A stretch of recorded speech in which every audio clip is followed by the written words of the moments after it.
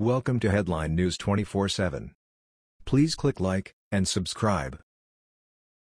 Stormy Daniels' lawyer in major trouble after Trump opens a closet full of corruption. The issues and controversies surrounding Stormy Daniels seem to not be going away. She is increasingly taking media interviews in an effort to remain relevant. Now the president is going to have the last laugh. Because Daniels' attorney is in for a rude awakening. At the request of President Trump, the Inspector General of the Treasury Department is investigating Daniels' lawyer named Michael Avenatti.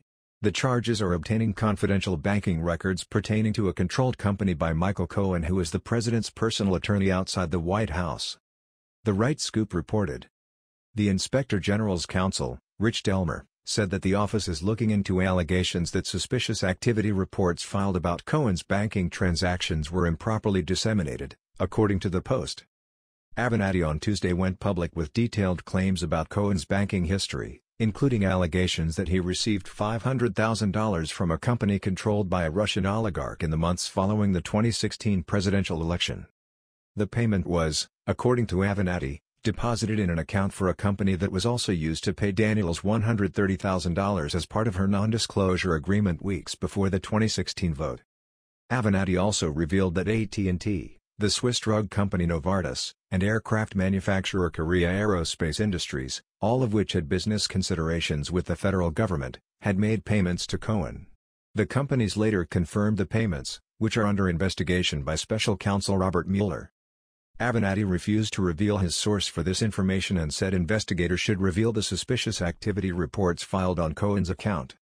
Such reports are filed if an unusual transaction of over $10,000 is made, and experts told the Post that Avenatti's information could have come from a report filed by Cohen's bank. This is not the end of this dispute though. The lawyers are having it out and it looks like it is going to be a bloody fight. Avenatti took to social media to allege that Cohen's dealings were not completely made public and that he would make it so if Trump's lawyers didn't cut it out. Fox News reported, Cohen is involved in a legal battle with Avenatti and his client, Daniels, over a $130,000 payment to the adult film star in the days leading up to the 2016 presidential election. The payment was made in exchange for her silence about an alleged sexual encounter with Trump more than a decade ago. Cohen is also under criminal investigation as part of a grand jury probe of his personal business dealings. The investigation is being led by the U.S. Attorney's Office in the Southern District of New York.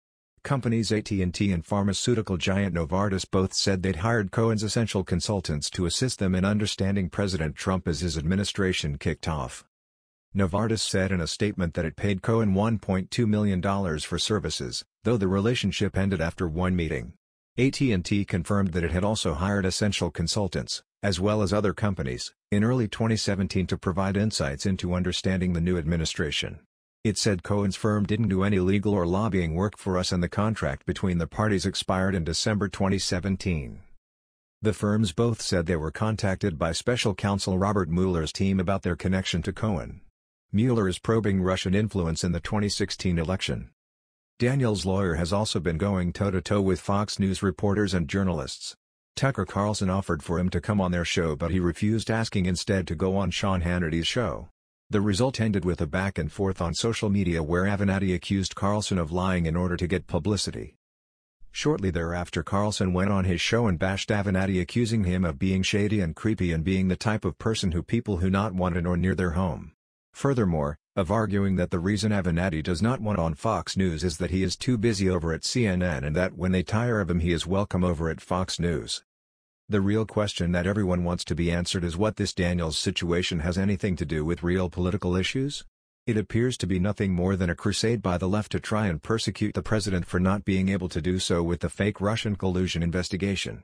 Whether Daniels and Trump had an affair or not is irrelevant. It could be true, and if so that is wrong. But infidelity has nothing to do with capability in the White House. Frankly, nobody cares.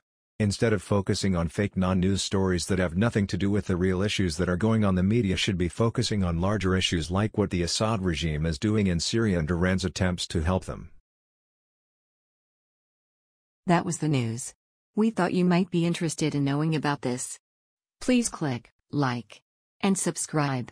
Thank you.